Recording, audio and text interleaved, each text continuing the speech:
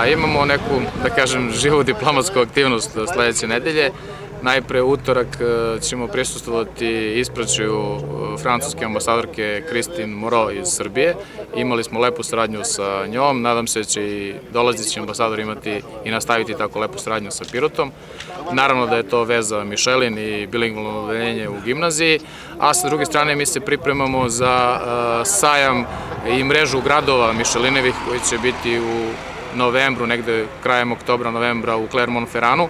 To je ozbiljna priprema od strane francuskog grada Clermont-Ferrana, mi smo potvrdili naše učešće, a potvrdili neko grad, nekoliko gradova iz Japana, Amerike, Meksika, Belorusije, dakle bit će to zanimljiv susret nas gradonačelnika, nas gradonačelnika iz tih gradova, gde Mišelin ima svoje fabrike.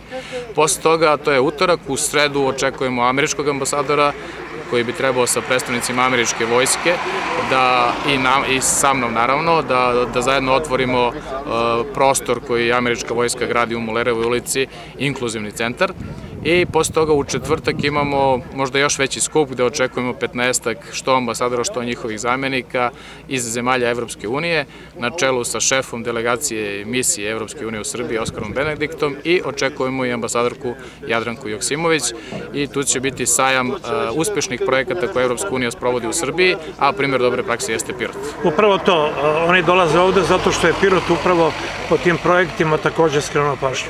Da, Pirot uh, je skrenuo pažnju, imamo dobru saradnju sa mnogim zemljama Evropske unije, imamo dobru saradnju sa mnogim donatorima i ja očekujem takođe lep skup koji će skrenuti pažnju uh, ne samo javnosti u Pirotu, nego javnosti van Pirota i još nekih donatora, a to je uvek dobar signal za druge donatore i uvek je lepo da ste primjer dobre prakse. Dakle, moram se ispravim, Pirot neće biti iduće nedelje centar Srbije, pomalo i centar sveta. Ja vam čestitam. Hvala.